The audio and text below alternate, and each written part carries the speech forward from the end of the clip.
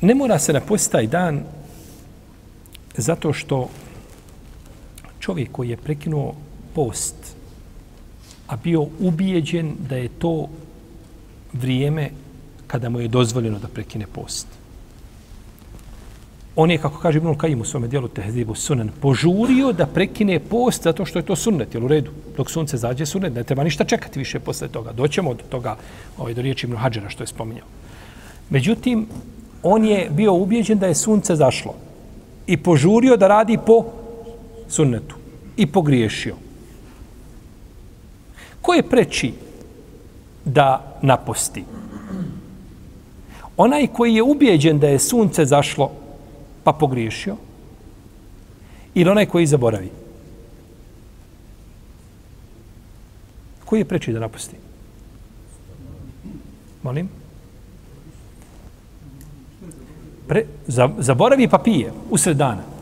U podne uzme čašu i popije. Molim? Što je zaboravio, on je preči da napusti. Baš tako.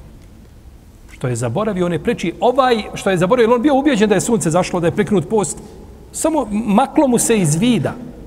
Ne, ne misli, znači, ne, ne, ne, ovaj, nije, nije u, u pravom vremenu, znači, prekinuo. Za razliku drugog koji je ubijeđen 100% da je sunce šta? Zašlo i da mu je vrijeme čega?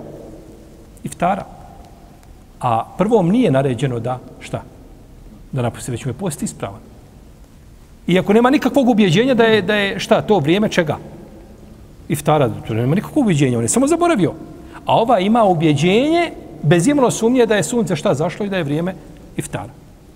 Tako da je ovaj mišljenje učenjaka koji kažu i od Omera radijalom ima o tome dva rivajete i mi jednom se kaže da se treba napostiti, drugom da ne treba, ali mišljenje da ne treba napostiti, to je odabrala jedna skupina učenjaka, to je odabrao Hasan al-Basri, a, i odabrao je to Ishak i Zahirijski učenjaci, i odabrao je to Mujahid prije njih, i odabrao je to šehol Sami Tejmije, Ibn Kajim, Ibn Sejmin,